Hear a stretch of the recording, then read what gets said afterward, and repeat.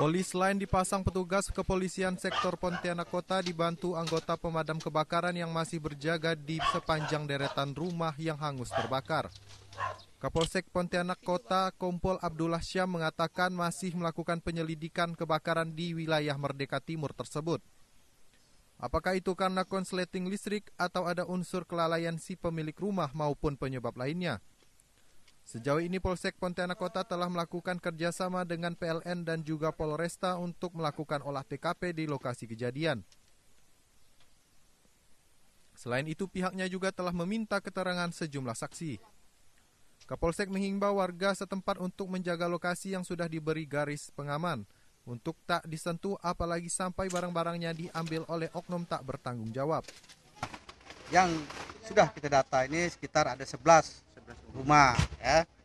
Memang ini bencana bencana alam yang tidak tidak kita duga-duga ya. Sama warga maupun pemilik rumah. Apakah ini penyebabnya dari listrik atau kelalaian manusia atau karena sebab-sebab uh, lain? Masih kita dalamin dan masih kita selidikin lah ya.